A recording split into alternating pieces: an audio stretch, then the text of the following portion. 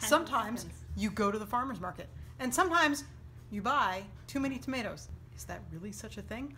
Hi, I'm Nica Waters, and welcome to Tasty Thursday. We're making tomato gratin today. Won't you join us?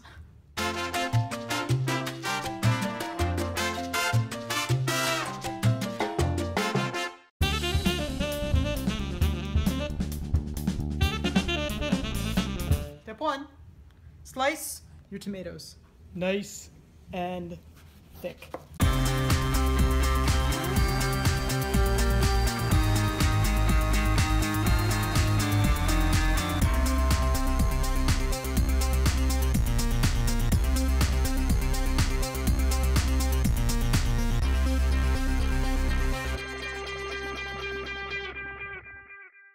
Little dab of some fresh pesto that I made the other day. And then all I'm gonna do is toss some fresh breadcrumbs with some olive oil and Parmesan cheese and throw it in the 500 degree oven for about 15 minutes.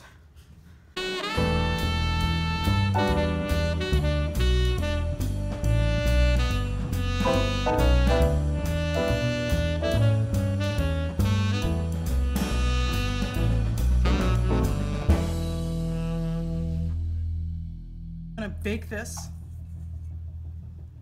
500 for about 10 or 15 minutes until these breadcrumbs are nice and brown. 10 minutes, you have this gorgeous, gorgeous, yummy, sizzly, delicious tomatoes with a crusty breadcrumb topping with all kinds of garlic and salt and cheese and oh my mouth is watering but I know that if I take a bite I will burn my mouth and that would not be a good thing.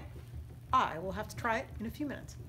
Happy, happy, tasty Thursday. If you like what you've seen, press like, tag a friend you think should see it, share it with somebody who loves tomatoes and summer and crispy things on top of tomatoes. And don't forget to subscribe. There will be something else amazing, delicious, and yes, you totally can do it yourself next Thursday. I hope you have the most spectacular week.